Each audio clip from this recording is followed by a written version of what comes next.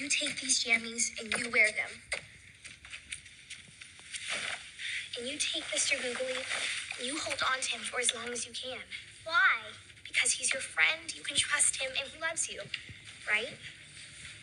Yeah, he does. And Auggie, it's very important that you hold on to your friends.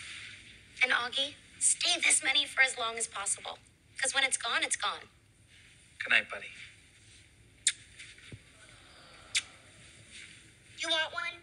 Yeah. Then you have to catch me. You want one? Yeah. Then you have to Mom.